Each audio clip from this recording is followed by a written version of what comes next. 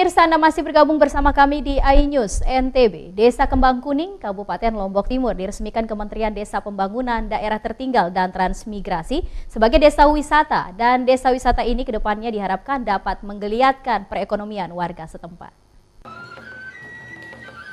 Potensi pariwisata di Desa Kembang Kuning Lombok Timur merupakan produk unggulan yang perlu dikelola secara profesional dan inovatif agar dapat memberikan kontribusi dalam percepatan perkembangan kemandirian desa.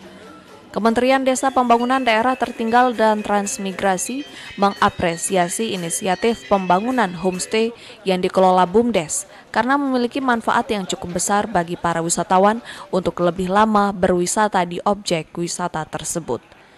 Sekjen Kementerian Desa Pembangunan Daerah Tertinggal dan Transmigrasi Anwar Sanusia mengatakan pengelolaan potensi wisata desa oleh BUMDes akan menyerap tenaga kerja sehingga meningkatkan pendapatan warga desa setempat. Prospektif yang cukup tinggi, kami tentunya dari Kementerian Desa Pembangunan Daerah Tertinggal dan Transmigrasi akan, akan memberikan dukungan penuh untuk bisa pengembangan homestay-homestay yang nanti akan dikelola oleh BUMDes tanpa dalam hal ini kami berikan catatan tanpa ibaratnya adalah mematikan homestay-homestay yang dikelola oleh masyarakat. Kementerian Desa Pembangunan Daerah Tertinggal dan Transmigrasi akan terus memantau perkembangan dan memberikan dukungan penuh ke Desa Wisata Kembang Kuning Lombok Timur tanpa mematikan homestay yang dikelola masyarakat.